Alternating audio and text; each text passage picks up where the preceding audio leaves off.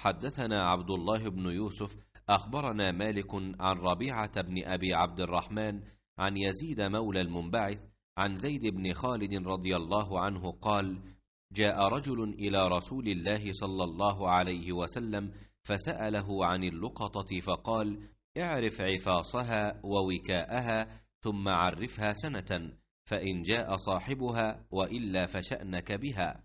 قال فضالة الغنم قال هي لك أو لأخيك أو للذئب. قال فضالة الإبل قال ما لك ولها معها سقاؤها وحذاؤها ترد الماء وتأكل الشجر حتى يلقاها ربها.